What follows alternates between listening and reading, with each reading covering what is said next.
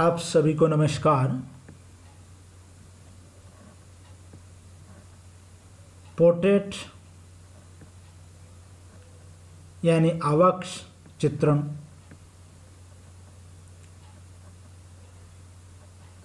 की आपने काफ़ी प्रैक्टिस की है, अभ्यास किया है, और आपको कई वीडियो के माध्यम से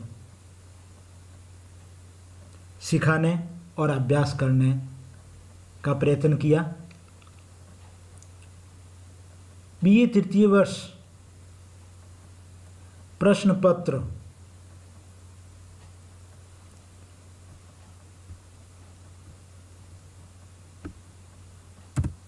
द्वितीय है, पहला प्रश्न पत्र डिज़ाइन है। कंपोजिशन है। और दूसरा प्रश्न पत्र आवक्स, यानी पोर्ट्रेट पोर्ट्रेट को जब हम शुरू करते हैं तो हमें मुख्य रूप से किन किन बातों का ध्यान रखना चाहिए और इसके लिए नियमित अभ्यास किस तरीके से किया जाना चाहिए? क्योंकि नियमित अभ्यास के बिना किसी भी कला का अभ्यास अधूरा ही रहता है।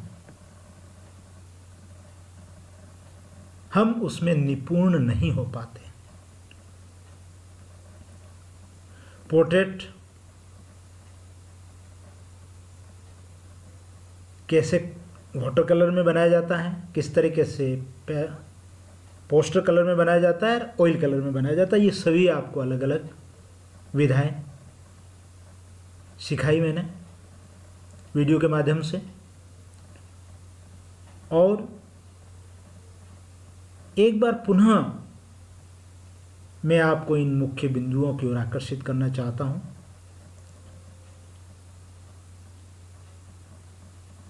कि हमें किन चीज़ों का ध्यान रखना है। क्योंकि आपके आवक्ष चित्रण पोर्ट्रेट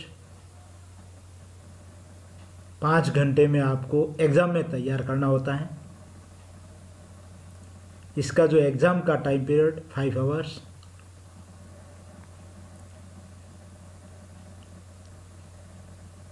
इसको कैसे तैयार किया जाता है? क्लास स्टडी जैसे वर्तमान में कोरोना काल के अंतर्गत। क्लास स्टडी संभव नहीं है। तो हमें पहला पॉइंट ये है कि सबसे पहले हमें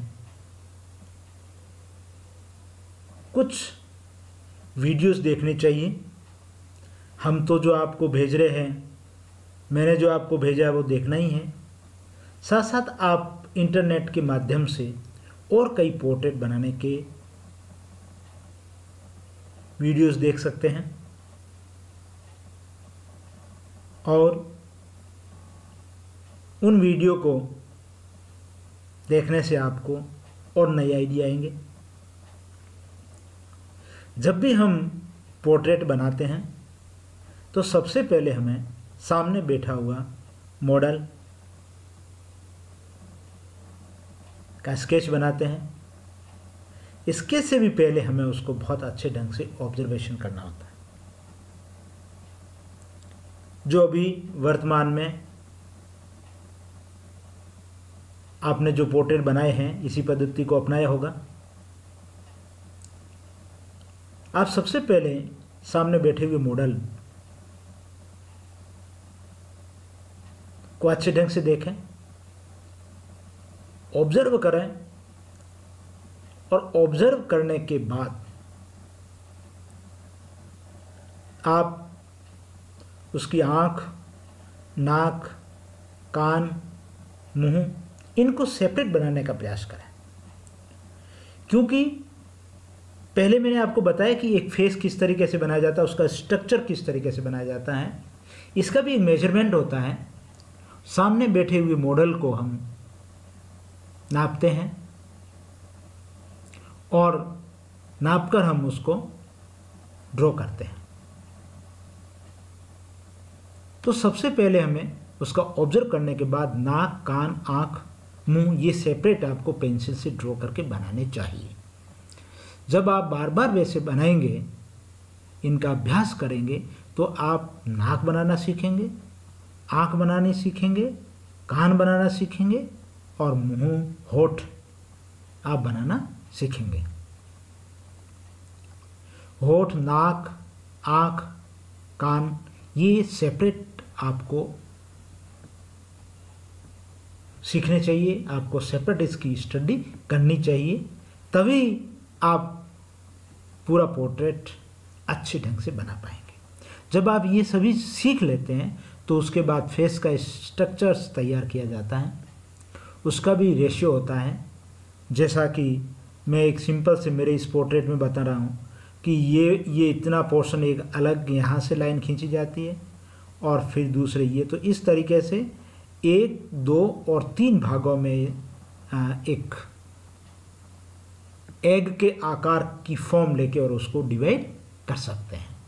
और फिर उसके बाद हम पोर्ट्रेट बनाते हैं। जब आप पोर्ट्रेट बनाना सीख जाते हैं, या उसके जो भी फेस के ऊपर के जो आँख नाक, कान अच्छे ढंग से सीख जाते हैं और फेस का स्ट्रक्चर सीख जाते हैं तो आपको सीधा इन चीज़ों को वहाँ पर सेट करने होते हैं या उनको अपनी अपनी जगह पे समायोजित करने होते हैं। तो ये आपने किया है, लेकिन एक बार पुनः मैं आपको याद दिलाने के लिए और इसको पॉइंट टू पॉइंट आपको इस संबंध में बताने का प्रयास कर रहा हूँ। उसके बाद में जब आप सीट पे आँख, नाक, कान, होठ सीख जाते हैं। स्ट्रक्चर आप फेस का बना देते हैं और उसको डिवाइड करके रूल्स के हिसाब से या फेस के विभाजन फेस उसको एग की शेप को तीन भागों में, जैसा पहले आपको मैंने सिखाया है, उस तरीके से उसको विभाजित करेंगे और करने के बाद आप उसको जिस बैलेंस में, जिस जगह आपको नाक, मुँह, यानी होठ और आँखें और कान आपको बनाना है। जब ये ड्रॉ हो जाता है तो आपको कम से कम दो तीन पोर्ट्रेट आपको पेंसिल से बनाने चाहिए, जिसमें पेंसिल शेडिंग हो। किधर से लाइट आ रही है, उसका आपको ध्यान रखना है। लाइट साइड का पोर्शन लाइट रहेगा और जहाँ से डार्क भाग है, उस पोर्शन को आपको डार्क रखना है। इस पोर्ट्रेट में लाइट और डार्क का इफ़ेक्ट होना चाहिए। वही अच्छा है, क्योंकि लाइट और डार्क का इफ़ेक्ट जब तक नहीं आएगा तो पोर्ट्रेट फ्लैट नज़र आएगा। पेंसिल से आपको करना पहले। पेंसिल से शेडिंग करनी है। जब आप पोर्ट्रेट को बना के और पेंसिल से शेड कर लेते हैं तो फिर हमारी बात आती है कलर्स की, रंग भरने की। अगर आपने प्रॉपर स्टडी नहीं की है, और आपने स्केच प्रॉपर नहीं बनाया है तो जब आप कलर शुरू करेंगे तो आप प्रॉपर रूप से कलर नहीं कर पाएँगे। इसलिए आपको सबसे पहले प्रॉपर तरीके से बनाना है परफेक्ट स्ट्रक्चर फेस का बनाना है, उसकी आकृति बनानी है, उसके बाद आप उसमें कलर करेंगे। जहाँ लाइट पोर्शन है, उसमें लाइट कलर यूज़ करेंगे और डार्क साइड है, जहाँ पर छाया पड़ रही है, उसको आप डार्क बनाएँगे। इस तरीके के आपको स्टेप बाय स्टेप प्रैक्टिस करनी है। आप सभी को जो आवश्यक चित्र बनाना है, परीक्षा की दृष्टि से सबमिशन की दृष्टि से हाफ़ इम्पीरियल सीट में आपको बनाना है। इसमें दो तरीके की सीट का आप में ले सकते हैं, एक ड्राइंग सीट और दूसरी एक पूना हैंडमेड सीट आती है। इन दोनों सीटों का अपना नेचर अलग है। आप इन दोनों सीटों का यूज़ कर सकते हैं।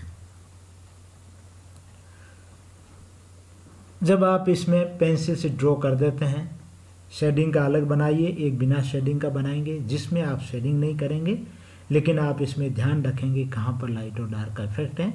सामने बैठे हुए मॉडल को आप वाटर कलर के माध्यम से बनाने का प्रयास करेंगे और उसमें जो लाइट पोर्शन है, जहाँ एकदम लाइट पड़ रही है, वहाँ वाइट कलर यूज़ नहीं होगा। शीट का कलर ही रहेगा, यानी शीट ही रहेगी वाइट वहाँ पर हल्का कलर यूज़ करके और उसमें प्रकाश का प्रभाव दिखाया जाना चाहिए। और जिस साइड से अंधेरा है, रोशनी नहीं आती है, उस पोर्शन में डार्क कलर का यूज़ किया जाना चाहिए, किया जाता है। इस तरीके से एक पोर्ट्रेट हम कंप्लीट करते हैं।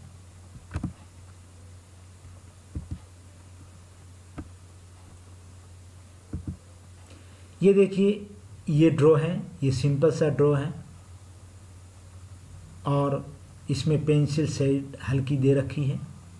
आप इसमें कलरिंग कर सकते हैं। इसमें हल्का, ये जो डार्क पोर्स जो है, जहाँ डार्क पेंसिल का उपयोग किया गया, इसको आप लाइट कर सकते हैं। लाइट करके और फिर इसमें कलर का उपयोग कर सकते हैं। ये पेंसिल शेड वर्क है। ये पूरा पेंसिल से वर्क किया गया है। तो ये लाइट और डार्क का इफ़ेक्ट पेंसिल्स के माध्यम से ही दिखाया गया है। यहाँ कलरिंग की बात नहीं है।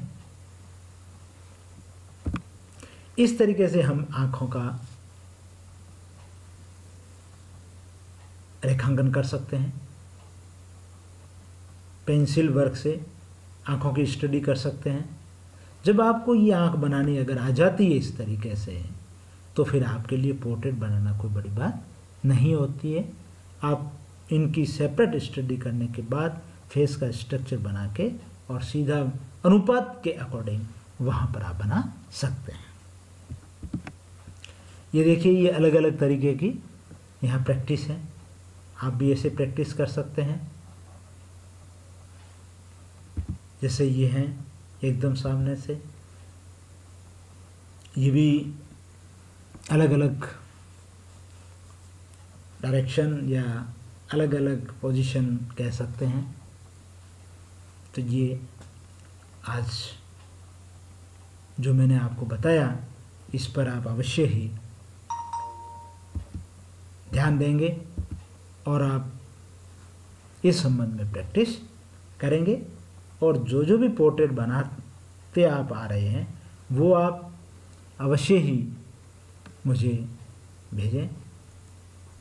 मुझे दिखावे ताकि मैं आपको उस संबंध में और डिस्कस करते हुए उस संबंध में और आगे चर्चा कर सकते हैं। आप पोर्ट्रेट बनावे और आपके घर पे जो भी आपका मेंबर है, आप उसको सामने बिठाएँ और बिठाकर उसके, उसका पोर्ट्रेट बनाए और आप अपनी प्रैक्टिस कंटिन्यू करें। अगर आपने एक बार बना दिया, फिर आपने पंद्रह, बीस दिन, महीने, दो महीने नहीं बनाया तो फिर आप वापस भूल जाएँगे। जितनी प्रैक्टिस आप करेंगे कंटिन्यू आपकी पेंसिल जितनी चलेगी, उतना ही आपके अभ्यास होगा। और अभ्यास का परिणाम ये होगा कि आप अच्छे ढंग से पोर्ट्रेट बनाना सीख जाएँगे। इसीलिए, विद्यार्थियों, आप सभी नियमित रूप से अभ्यास करते रहिए और आपका नियमित अभ्यास ही आपको एक बहुत अच्छा पोर्ट्रेट बनाने में हेल्प करेगा। आप अच्छा पोर्ट्रेट बनाना सीखेंगे। धन्यवाद।